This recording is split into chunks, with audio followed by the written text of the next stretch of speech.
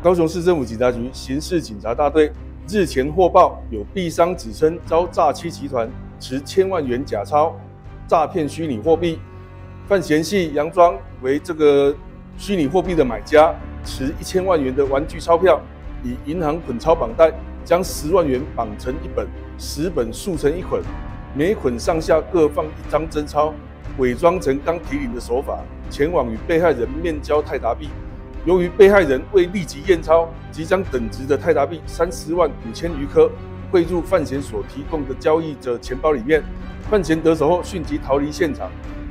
被害人事后清点交易现金，发现范闲所交付的千万元现金中，竟夹藏七千八百二十九张玩具钞票，使惊觉受骗，并诉警侦办。